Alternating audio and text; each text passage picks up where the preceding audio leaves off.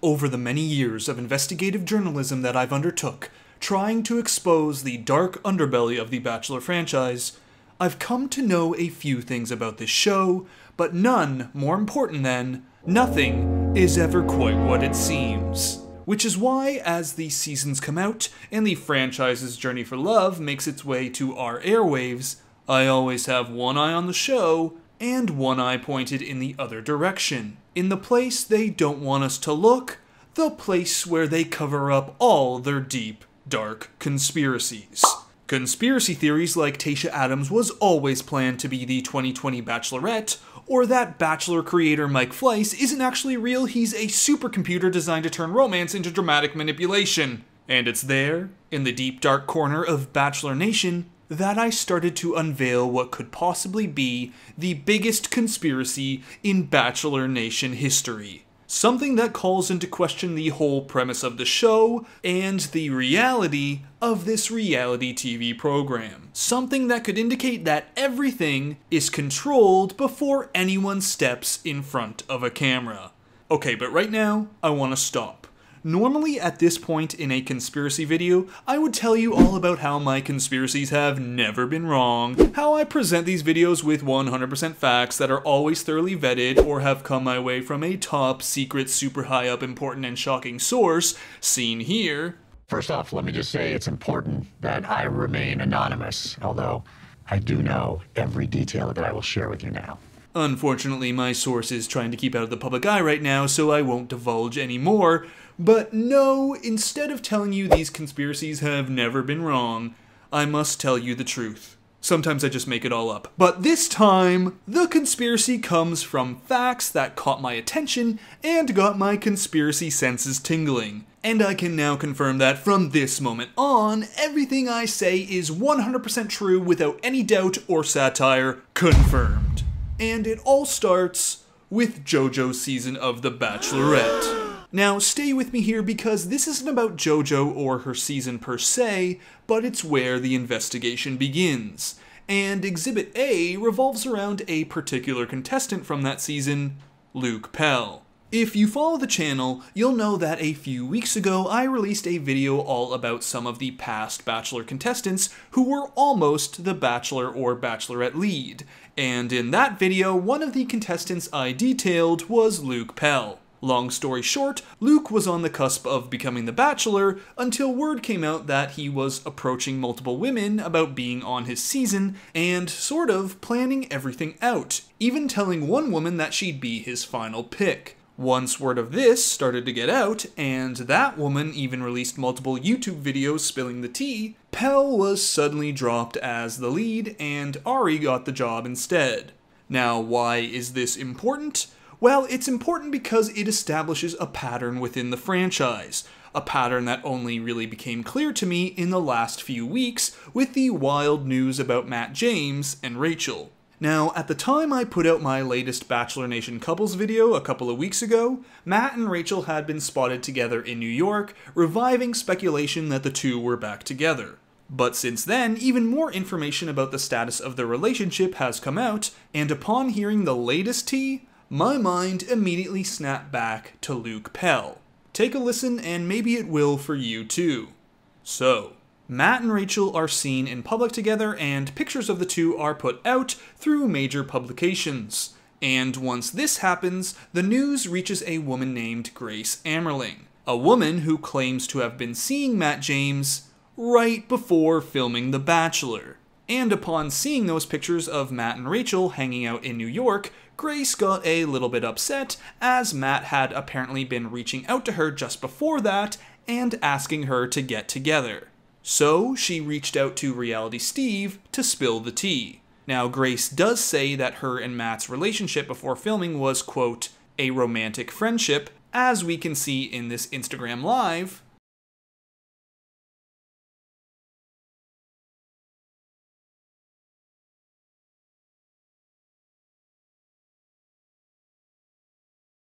I would say I had a, uh, I would say a romantic friendship with Matt um, before the show. But what bothered her isn't the time before the show, it's what happened after filming that prompted her to reach out as she insists Matt hasn't been as honest about everything as it might seem. Then he was announced as the Bachelor um, a couple days after we went on a date, and then we continued to talk. We went on another date, um, and he tried to get me to go on the show and nominate me to go on the show. Matt had asked Grace to come on the show. Now, at first, Grace said no, thinking that she'd be portrayed as the villain because she had a past with Matt. Then later, she did decide to apply, but never made it to the final cast list.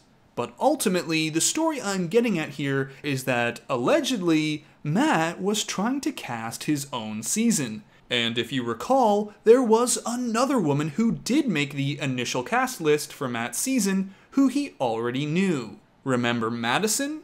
We talked about her in the pre-season preview breakdowns from that season, and she was a part of the original cast list of women announced around early October, but never made it to the night one cut. But with this news, it begs the question, was she invited to apply for the show by Matt as well? I don't know. But what I do know is that this whole story felt familiar. It felt like something I had seen once before. Oh, deja vu. Matt James invited women he knew to be on his season. Luke Pell invited women he knew to be on his season. And before I knew it, the tinfoil hat was on my head and I was flying straight down the rabbit hole wondering if this was happening now, and this was happening in 2016, how many seasons from this franchise had this already happened on, but was never found out? Is this normal? And is this actively encouraged by production? Just take a moment to think about it. Remember last season of Bachelor in Paradise where everyone had pretty much already met at Stagecoach? All the people who had hooked up and went to the beach with expectations and plans?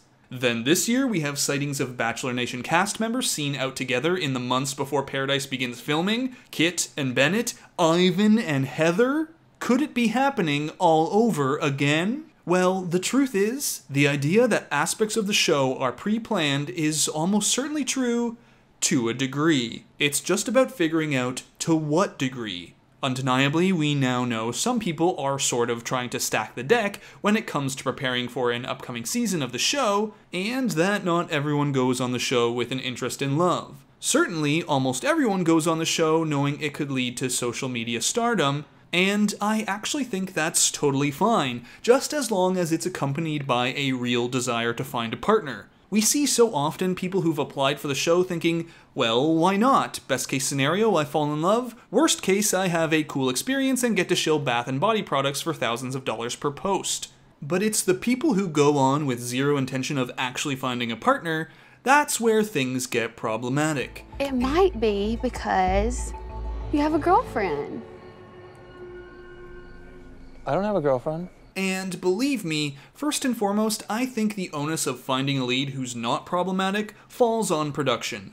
And when it comes to The Bachelor, specifically The Bachelor show, not The Bachelorette, they've had a pretty terrible track record of late. So here's where the real conspiracy comes into play. When it comes to pre planning a season, it's not just being done by a lead like Matt James or Luke Pell, the Bachelor people are actively encouraging this behavior. Now, why? Think about this. Matt, or whoever the lead is, invites someone to be on the show that they are actually interested in dating.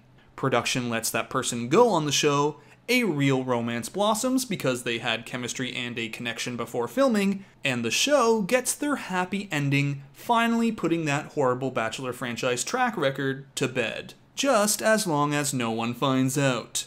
Now, of course, you could be asking, but Bachelor Fantake, how could production be in on it if they've actively tried to prevent these people from being on the show? Grace never made it past final casting, Luke was pulled from being the Bachelor before his season started filming. Doesn't that mean production is trying to prevent this? Well, maybe, but maybe not. Consider Madison, who was cast to be on the show, until people found out Matt and her dated. Not good for the show. Luke Pell was found out too. Not good for the show. He was removed. Grace never made it past final casting, but remember what she said about not wanting to be the villain?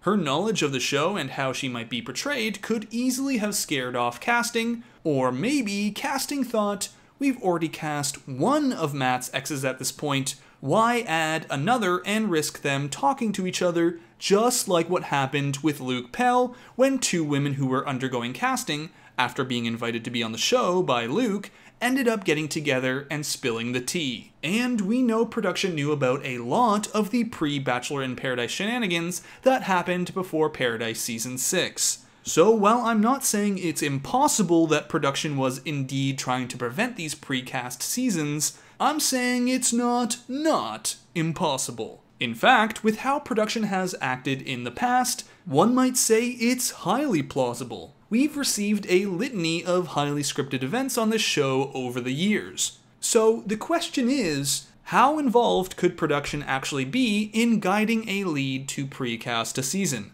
Is it something they might discover and let slide? Is it something they quietly encourage? Or is it something they actively drive forward? Think about it. Do you think production could be capable of such a thing? It's not true. That's impossible. Search your feelings. You know it to be true. Peter doesn't know I'm here. Peter is single. Are you in love with Peter? He ended his engagement because of his feelings for you.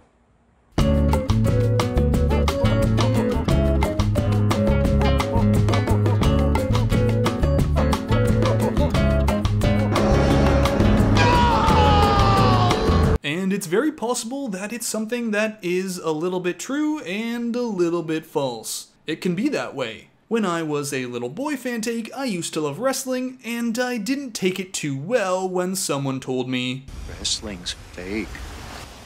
Wrestling's not fake! But as Little Kid Fantake came to realize, while wrestling was fake, it still involved a whole lot of athleticism and a whole lot of pain and injury for those involved. In the same way, this show can be overly produced, but still churn out real and lasting relationships. The two things don't have to be mutually exclusive for this idea to ring true. So, keep your eyes peeled and your tinfoil hats snugly attached to your head. For while we don't know if this pre-casting from Bachelor leads is just something that's coincidentally happened twice, or if it's something that's been happening for years. And with that, you have your conspiracy. Do with the information what you will. I'm just gonna leave it right there and vanish back into the shadows. And if you never hear from me again, know that what I said might just be true. And the Mike Fleiss supercomputer has me, somebody send help! So that's it for this Bachelor conspiracy video. I hope you enjoyed it and know that it's all in good fun. And if you did enjoy it, be sure to give the video a like and subscribe for more, as we've got tons of Bachelor Nation content to get to as we draw closer to Katie season in a few weeks. So until then, Bachelor Fantake, out. So you guys gonna use that voice changing technology, right? Yeah, absolutely. You're all good. All right, thanks, guys. Appreciate it. And seriously, you can't tell at all who I am. Nope, you're good. Okay, thanks, guys. Talk to you later.